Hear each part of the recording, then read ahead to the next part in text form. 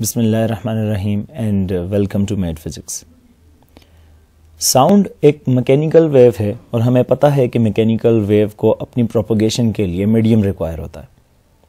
हमारे ईयर ऐसे डेवलप्ड हैं कि वो जिस मीडियम पे साउंड को डिटेक्ट करते हैं, वो है एयर हालाँकि साउंड लिक्विड के अंदर भी और साउंड सॉलिड के अंदर भी ट्रेवल करता है। मगर हम लोग उसे सुन नहीं सकते वो इस वजह से, क्योंकि हमारे कान जो हैं, वो बिल्ड नहीं हैं उन मटेरियल्स के अंदर साउंड को सुनने के लिए।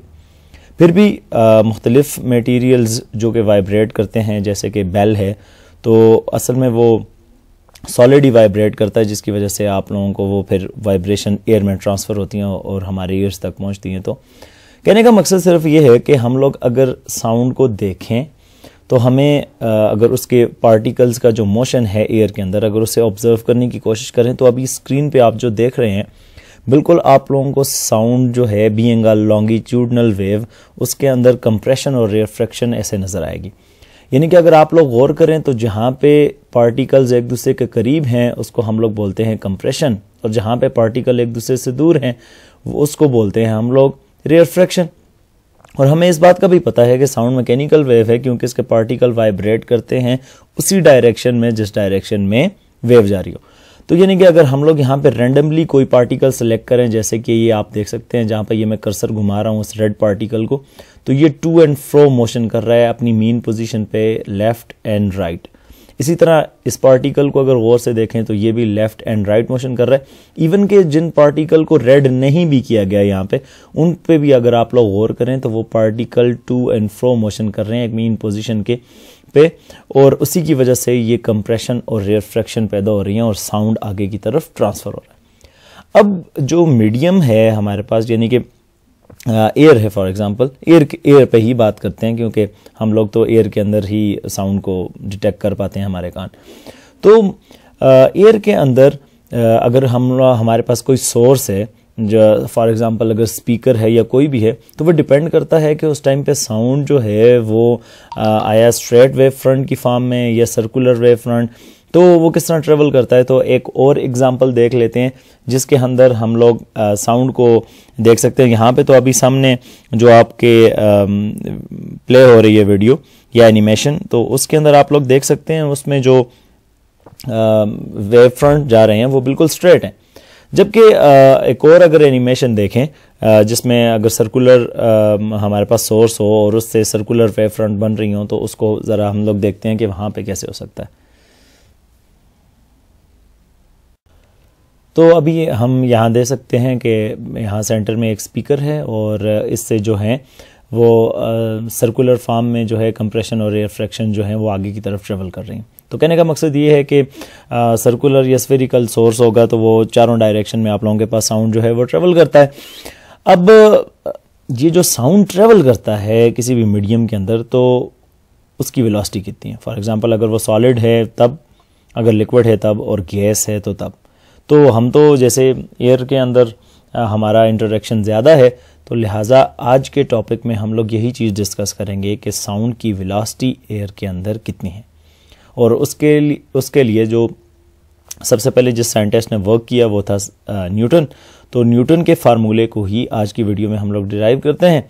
तो आइए चलते हैं वीडियो की तरफ़।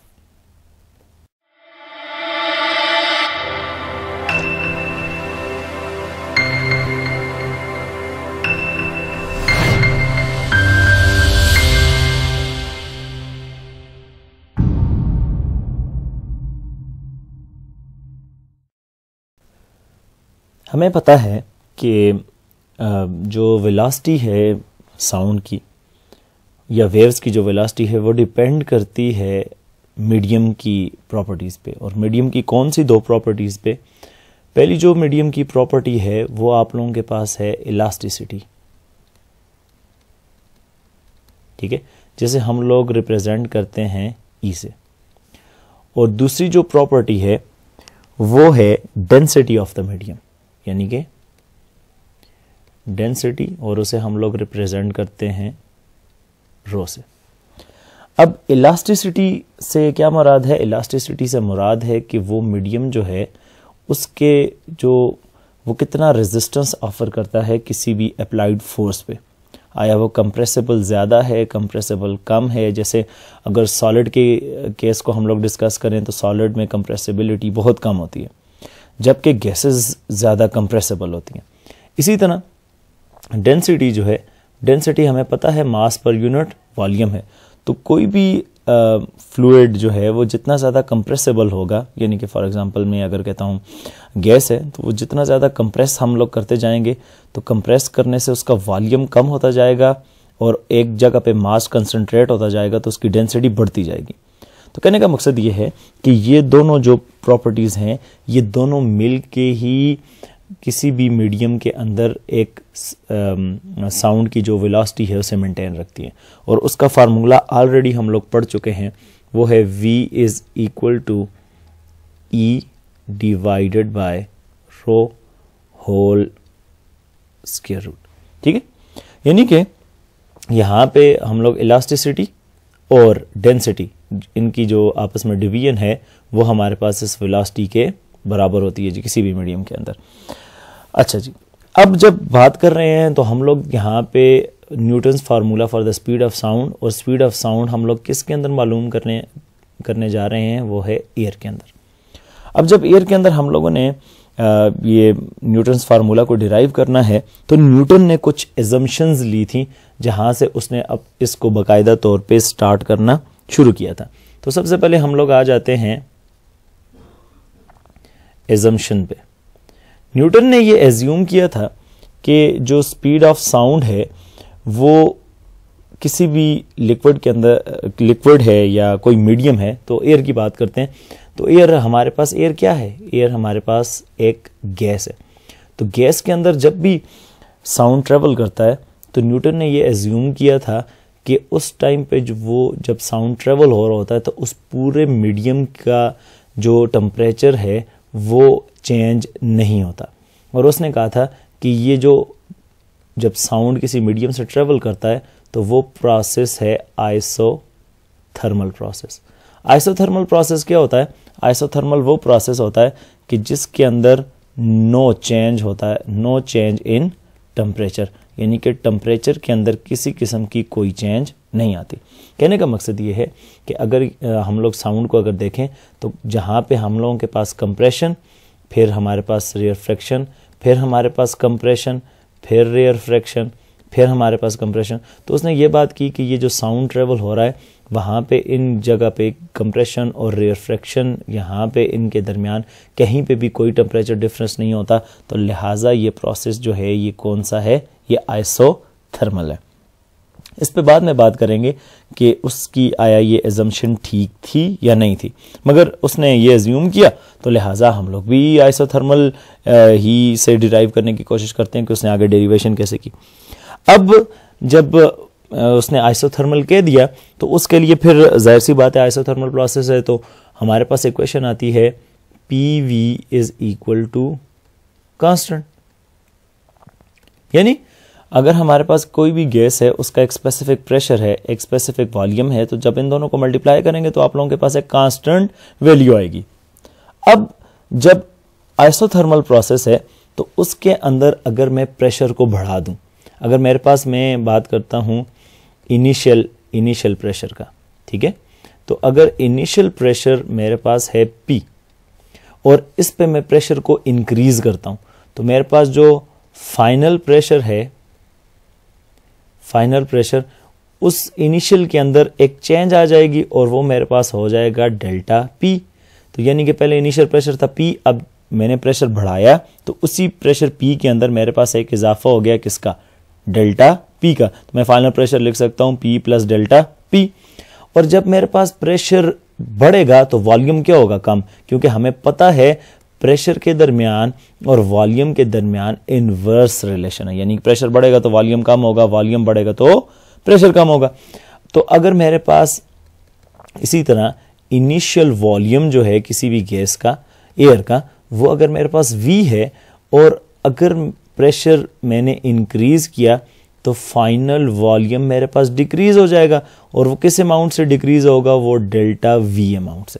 तो यानी कि पहले मेरे पास प्रेशर जब मेरे पास प्रेशर पी था तो वॉल्यूम था वी अब जब प्रेशर मैंने इंक्रीज किया डेल्टा पी अमाउंट से तो वॉल्यूम डिक्रीज हो गया डेल्टा वी अमाउंट से। तो प्रेशर डेल्टा पी अमाउंट से इंक्रीज किया तो वॉल्यूम डेल्टा वी अमाउंट से डिक्रीज हो गया।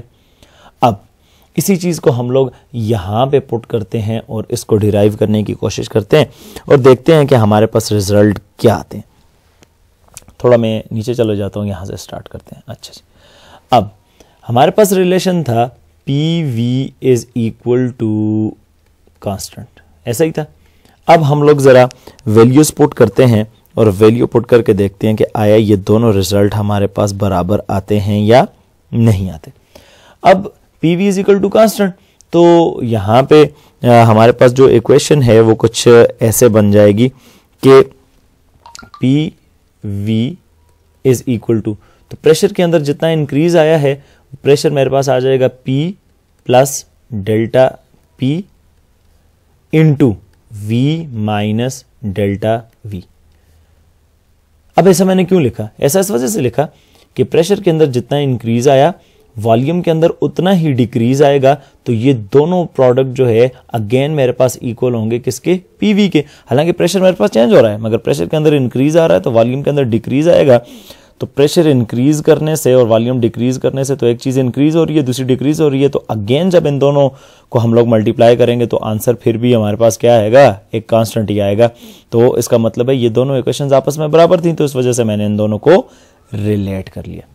अब ज़रा इन दोनों को मैं मल्टीप्लाई करके देखता हूँ। तो ये हो जाएगा P V is equal to तो पी इंटू वी ये आ जाएगा P V again P into minus delta V तो ये आ जाएगा minus P delta V delta P into V तो ये आ जाएगा plus delta P into V और plus into minus minus delta P into delta V अच्छा यहाँ पे ये जो प्रेशर के अंदर चेंज है और ये वॉल्यूम के अंदर चेंज है, ये बहुत ही स्मॉल है। यानी कि मैं यहाँ पे लिख भी देता हूँ कि डेल्टा पी जो है, वो है स्मॉल चेंज इन प्रेशर ठीक है?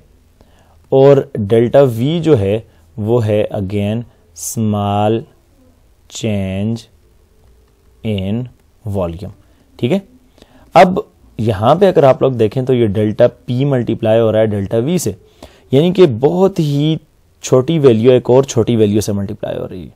कहने का मकसद ये जैसे हम लोगों को पता है कि 0.1 एक छोटी वैल्यू है और उसको 0.1 के साथ मल्टीप्लाई करते हैं तो आंसर 0.001 यानी कि इन दोनों के से भी आंसर छोटा आता है। और इसी तरह अगर इनसे भी कहीं गुना छोटी वैल्यू हो तो जब वो उनको आपस में मल्टीप्लाई करेंगे तो रिज़ल्ट और ज़्यादा छोटा आएगा। तो लिहाजा ये जो प्रोडक्ट है डेल्टा पी डेल्टा वी ये बहुत ज़्यादा स्मॉल है वन से। और जो वैल्यू बहुत ज़्यादा वन से छोटी होती है, उसको हम लोग इग्नोर कर सकते हैं। तो इसका मतलब है, इसको हम लोग कह सकते हैं कि ये जस्ट इक्वल टू ज़ीरो है। ठीक है? तो मैं इसको अगर जस्ट इक्वल टू ज़ीरो तो हमारे पास हो जाएगा डेल्टा हो जाएगा P V is equal to P V minus P delta V plus delta P V अब ये भी पी वी ये भी पी वी तो ये दोनों एक दूसरे के साथ कैंसिल हो जाएँगे। या दूसरे अल्फाज में अगर इसको मैं उठा के इस तरफ़ लेके आऊँ तो ये प्लस है, यहाँ पे आएगा तो माइनस हो गया दोनों अगेन कैंसिल तो ये आ जाएगा zero is equal to minus P delta V plus delta P into V ठीक हो गया? अब थोड़ा सा और मैं इसे नीचे ले आता हूँ ताकि थोड़ा अच्छा। यहाँ से अब इस माइनस को, माइनस वाली टर्म को अगर इधर मैं लेके आऊँ तो ये हो जाएगा प्लस तो ये हो जाएगा P delta V is equal to delta P into V और अगर दोनों तरफ़ में डिवाइड कर दूँ डेल्टा वी के साथ इधर भी और इधर भी तो ये डेल्टा वी डेल्टा वी के साथ cancel P is equal to delta P V divided by delta V ठीक है? इसको अभी नाम दे देता हूँ मैं इक्वेशन नंबर वन का, और इक्वेशन नंबर वन का इसलिए नाम इसलिए नाम दे रहा हूँ क्योंकि यहाँ पे मैं एक चीज़ समझाना चाहता हूँ ताकि आप सबको क्लियर हो जाए। अच्छा जी, इस टर्म को, ये जो मेरे पास आई है, इसको मैं ऐसे लिख सकता हूँ P is equal to delta P divided by delta V divided by V अब ये मैंने ऐसे क्यों लिखा? ठीक है? ये दोनों, ये वाली टर्म ये वाली टर्म और ये वाली टर्म ये दोनों आपस में बराबर हैं। मैंने ऐसे क्यों लिखा, ये मैं अभी आपको बताता हूँ।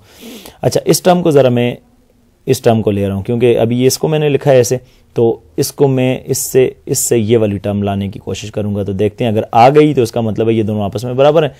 तो delta P divided by delta V divided by V इसको मैं ऐसे लिख सकता हूँ।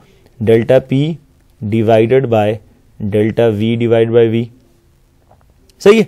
और नेक्स्ट में हो जाएगा डेल्टा पी तो ये डिवाइड है, इसको मल्टीप्लाई में चेंज करें तो ये चीज़ उलट जाएगी ये हो जाएगा V divided by delta V तो ये हो जाएगा delta P V divided by delta V तो ये देखें, ये वाली टर्म और ये वाली टर्म ये दोनों बिल्कुल सेम है। तो इसका मतलब है, इसको मैं लिख सकता हूँ ऐसे, ठीक है? इसलिए मैंने इसको ऐसे लिखा है। तो सिर्फ़ यहाँ पे ये समझाने के लिए मैंने इस इक्वेशन को नाम दिया था इक्वेशन वन का। अच्छा आगे चलते हैं। अब ज़रा यहाँ पे एक चीज़ गौर करते हैं, एक चीज़ पे गौर करते हैं। P इज़ इक्वल टू ये डेल्टा P मेरे पास क्या है? Delta P force per unit area तो ऐसा मैं लिख सकता हूँ फोर्स पर यूनिट एरिया ठीक हो गया? और ये change in volume divided by original volume ये तो मेरे पास वॉल्यूमीट्रिक स्ट्रेन है। वॉल्यूमीट्रिक स्ट्रेन ऐसा ही है? क्योंकि हम लोगों को पता है ना, हम लोगों ने जितने भी मॉडुलस पढ़े यंग मॉडुलस शेयर मॉडुलस और बल्क मॉडुलस तो बल्क मॉडुलस में हम लोगों ने पढ़ा था change in volume divided by original volume वो इक्वल होता है वॉल्यूमेट्रिक स्ट्रेन के। और ये फोर्स पर यूनिट एरिया ये किसके बराबर है? स्ट्रेस के। तो इसका मतलब है स्ट्रेस डिवाइडेड बाय स्ट्रेन आ गया। ये ये वाली टर्म जो है, या ये वाली टर्म इसको हम लोग लिख सकते हैं स्ट्रेस डिवाइड बाय स्ट्रेन और stress divided by strain it किसकी इक्वल होती है? इलास्टिसिटी के। इसका मतलब ये है, यहाँ पे जो प्रेशर है, वो असल में किसके इक्वल है? इलास्टिसिटी के। अब ये वाला जो रिलेशन था, ये न्यूटन के अकॉर्डिंग ये एक काफ़ी यूजफुल रिलेशन था। इसको अगर मैं रिलेट करूँ, जो ऊपर इक्वेशन हम लोगों ने लिखी थी, उसके साथ ज़रा आप लोग अगर उससे देखें तो वो इक्वेशन हम लोगों ने लिखी थी, यहाँ पे, ये देखें, v is equal to elasticity divided by density तो अगर यहाँ पे देखें तो इसी इक्वेशन में अगर मैं वैल्यू पुट करूँ तो यहाँ से चलें, यहाँ पे ये वैल्यू पुट कर लेता हूँ तो ये इक्वेशन मेरे पास आ जाएगी v is equal to square root अब e की जगह पे यहाँ पे आ जाएगा p डिवाइडेड बाय रो अच्छा जी, अब जो न्यूटन है, उसने ये एक्सपेरिमेंट किया था जिसमें उसने मरकरी को एयर कॉलम के साथ प्रेशर मालूम करने के लिए और बाकी चीज़ें जो हैं वो मालूम करने के लिए किया था। और उसने एक कैपलरी ट्यूब जो है वो इन्वर्ट की थी एक बाट टब में जिसके अंदर मरकरी भरा हुआ था और वो मरकरी उस ट्यूब के अंदर फिल होना शुरू हो गया तो उसकी एक हाइट आ गई। तो लिहाजा अगर यहाँ पे P की वैल्यू हम मैं पुट करूँ तो P की वैल्यू मेरे पास हो जाएगी रो जी एच के और जो रो की वैल्यू है वो मरकरी के लिए होगी, यानी कि डेंसिटी और जी एच और एच जो है वो मरकरी जो उस ट्यूब के अंदर फिल होता गया, वो उसकी वैल्यू थी 76 सेंटीमीटर ठीक है, आप ये सेंटीमीटर में है तो जी भी हम लोग किस वैल्यू में ले लेंगे? सेंटीमीटर पर सेकंड स्क्वायर तो ये हो जाएगा 980 सेंटीमीटर पर सेकंड स्क्वायर ठीक है? तो इस वैल्यू को उठा के ज़रा इस इक्वेशन में पुट करते हैं। तो यही इक्वेशन कुछ हो जाएगी मेरे पास ऐसे।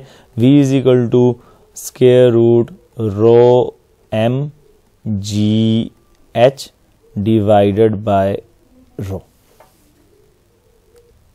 अच्छा जी जब जब हम लोग इस में सारी वैल्यूज़ पुट करेंगे density of air density of mercury ठीक है? डेंसिटी ऑफ़ मरकरी जो है आ, वो हमारे पास वैल्यू आ जाएगी 13.6 ठीक है?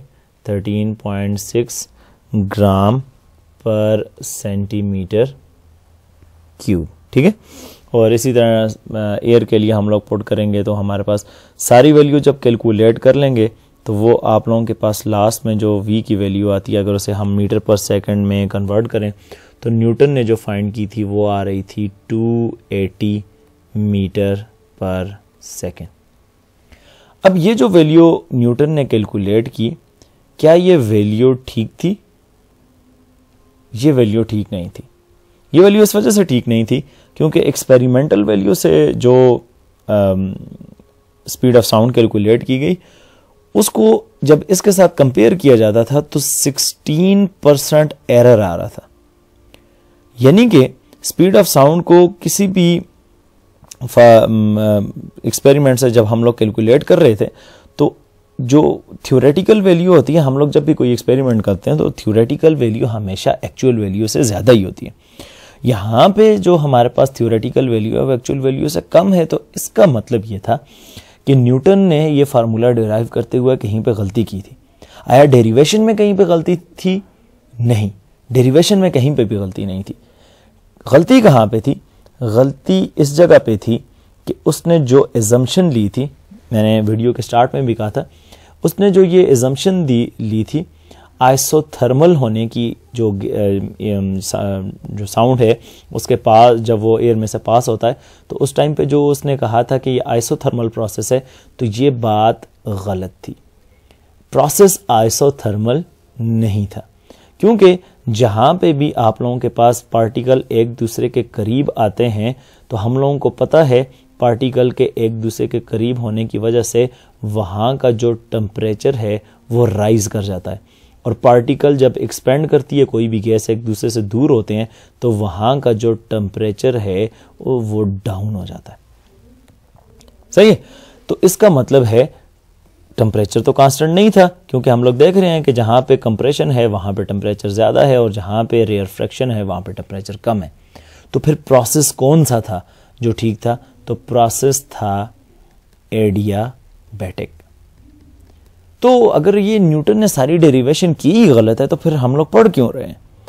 पढ़ इस वजह से रहे हैं कि न्यूटन वो बंदा था जिसने पहली दफ़ा स्पीड ऑफ़ साउंड को, के लिए कोई फार्मूला बनाने की कोशिश की, उसने सोचा इस पर तो लिहाजा ये बेसिस प्रोवाइड करता है स्पीड ऑफ़ साउंड को कैलकुलेट करने के लिए। तो लिहाजा इसको समझना ज़रूरी था। और इसके ही फार्मूले पे वर्क किया था, जो इसके बाद एक साइंटिस्ट आया था लेप्लास ने, और उसी ने यही एडियाबेटिक वाली एजम्पन करके जब उसने कैलकुलेट किया तो उसकी वैल्यू बिल्कुल एक्सपेरिमेंटल वैल्यू के करीब आ रही थी। तो इनशाला लेप्लास का जो फार्मूला है, जो लेप्लास कोरेक्शन अगर मैं कहूँ तो ज़्यादा करेक्ट होगा तो लेप्लास कोरेक्शन जो है वो इंशाल्लाह किसी नेक्स्ट वीडियो में डिस्कस करेंगे। आज की वीडियो में इतना ही। इनशाला नेक्स्ट वीडियो में मिलते हैं, जिसमें हम लोग लेप्लास कोरेक्शन देखेंगे कि उसने न्यूटन के इसी एजम्पन को करेक्ट किया और उसने क्या कोरेक्शन की। तो इनशाला मिलते हैं नेक्स्ट वीडियो में। प्लीज़ अगर आपको वीडियो अच्छी लगे तो लाइक सब्सक्राइब और शेयर किया करें। मिलते हैं नेक्स्ट वीडियो में। अल्लाह हाफिज़।